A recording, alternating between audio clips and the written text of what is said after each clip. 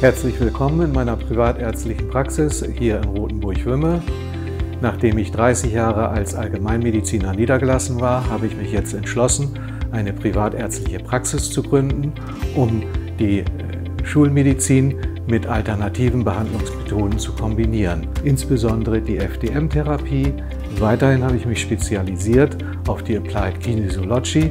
Das ist eine Methode, die auf äh, genormten Muskeltests basiert und in der Lage ist, bei unklaren Beschwerdebildern sowohl im Bereich des Bewegungsapparates oder auch der inneren Organe versteckte Ursachen aufzufinden und diese dann entsprechend manuell zu behandeln.